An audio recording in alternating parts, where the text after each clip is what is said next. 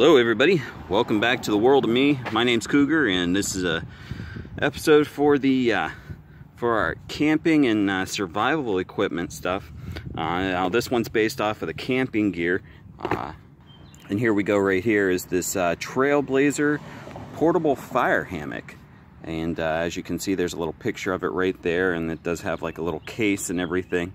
now this is pretty cool. It's, it's a seems to be a steel mesh there and it's uh, propped up off the ground. So uh, for those of you who want to have a fire in the backyard without having to uh, burn the grass or, um, you know, put down uh, uh, one of those big heavy uh, fire pits or anything like that, you've got something real simple and lightweight here. Um, this is only about two and a half feet long maybe total for this box. And it's, I mean, it only weighs maybe a couple pounds. It's And that's with the box and everything. It's probably a little lighter without that.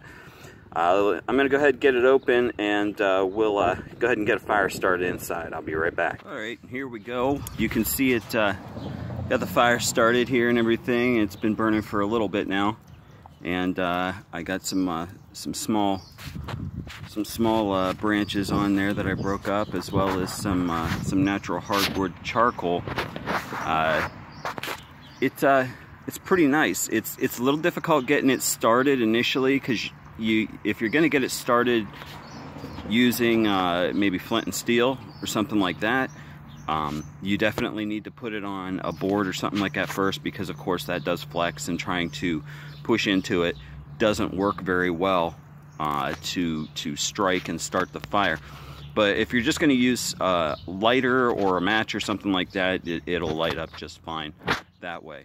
Uh, with the uh, bottom of it there being a mesh, it does let air up through, so it does burn relatively quick compared to one that's on the ground. Here's the, uh, the bag here. You can see just a simple bag. It's got a fold over section here and there is uh, some, uh, some Velcro there and then of course you can see Trailblazer. It has these two uh, cords, and there's two on the top and two on the bottom, and as you can see down there, I took and uh, tied them in a knot to make it sort of a sling harness.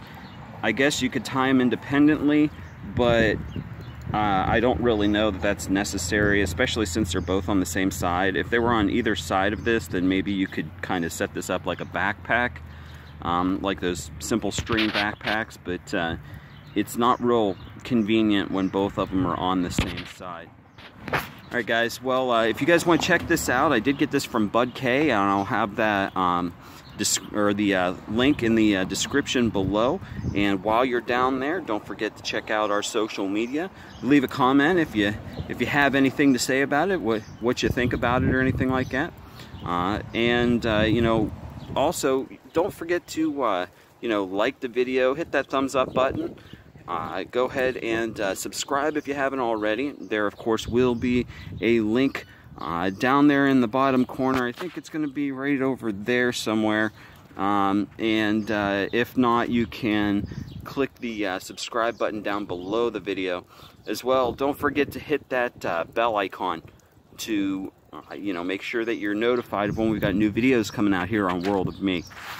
Alright guys, well that'll do it for me today. Uh, hopefully you like this. It's a pretty simple, nice little thing. Great for uh, camping, even in just your backyard or something like I'm doing right now. And uh, yeah, it works. So uh, that'll do it for me today guys. My name's Cougar. This is uh, The World of Me and uh, part of the camping and survival series. I'd like to wish you all a good day and I will see you later. Bye.